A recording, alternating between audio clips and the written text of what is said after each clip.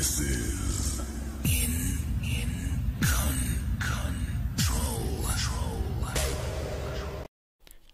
Hey Leute, Punch wieder am Start und heute gibt's so eine neue Runde Challenge Accepted auf dem IQ Clan Channel. Ähm, ja, ihr seht's, wir spielen Sabotage. Wir haben ja gesagt, wir nehmen die ersten drei Runden unter eine Minute 30.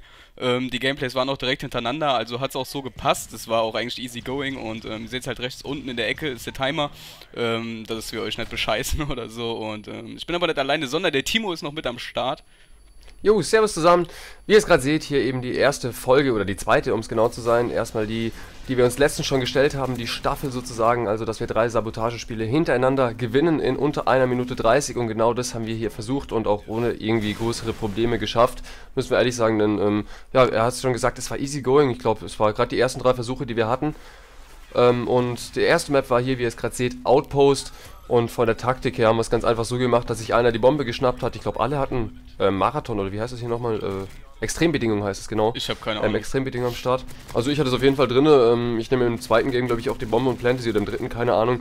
Also das schön alle wirklich voll nach vorne rushen, weil das Positive für uns und das Negative für die Gegner war ja ganz einfach, dass wir hier eben diese wunderbare Respawn-Zeit haben. Ich weiß gar nicht, die ist ja unterschiedlich lang. Und dementsprechend, sobald man die Gegner einmal weggebasht hat, kann man eigentlich fast schon durchlaufen. Und somit war es dann verdammt einfach. Killserien habt ihr gerade gesehen, hier hatten wir eigentlich alle nahezu die komplett tiefen Killserien drin. Ähm, ich hatte sogar nur Drohne und Konterdrohne dabei, also nur die zwei. Ich weiß nicht, wie sah es bei dir aus, weißt du? Ähm, ich bin mir nicht mehr sicher, aber wir haben auf jeden Fall die Tiefen genommen, weil die hohen Killstreaks brauchst du bei Sabotage einfach nicht, weil das Spiel ist so schnell zu Ende. Ähm, das war auch richtig einfach, die Gameplays unter 1,30 hinzukriegen, einfach nur.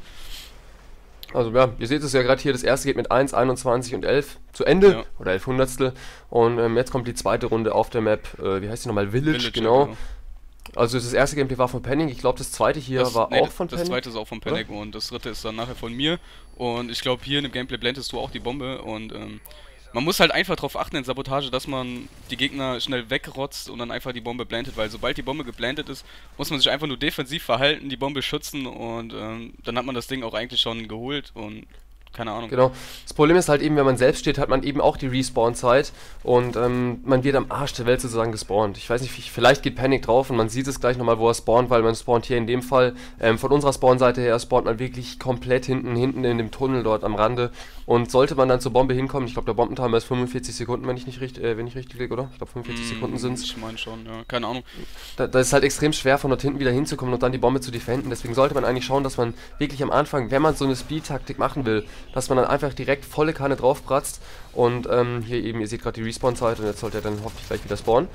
Ähm, Jetzt. jetzt haben wir ihn ja eben, hier, ihr seht, er ist wirklich am Arsch der Welt und damit ist die Sache schon geritzt. Er konnte nicht mehr, mehr zur Bombe hinrennen. Also ihr solltet schon schauen, wenn ihr so eine Speed-Taktik macht, dass ihr eben nicht drauf geht oder eventuell, was die andere Sache halt wirklich ist, ähm, dass ihr Taktikeinstiege vielleicht mitnimmt, wenn ihr sowas macht. Ja, den hatte ich Und- auf Dings, auf Lockdown hatte ich den dabei, das sieht man auch gleich. Genau, ich auch. Ich habe es dann eben nach der Runde, habe ich dann auch bearbeitet, einen Taktikeinstieg reingeklatscht. Eben, ihr seht es jetzt, die zweite Runde geht mit einer Minute sechs zu Ende. Und jetzt kommen wir auch schon zur dritten, zur Lockdown-Map. Und zwar haben wir hier auch wieder, ja, von der Taktik her genau das gleiche Ja. gemacht. Und das ist eigentlich voll fail gewesen. Ich habe vergessen, dass ich Taktikeinstieg dabei hatte, wollte eine Stun-Nate werfen und leg den Taktikeinstieg dahin, aber ähm, ja, ich meine, es war wirklich, also es hat Spaß gemacht, auch wenn es der erste Versuch war. ja, auf jeden ähm, Fall.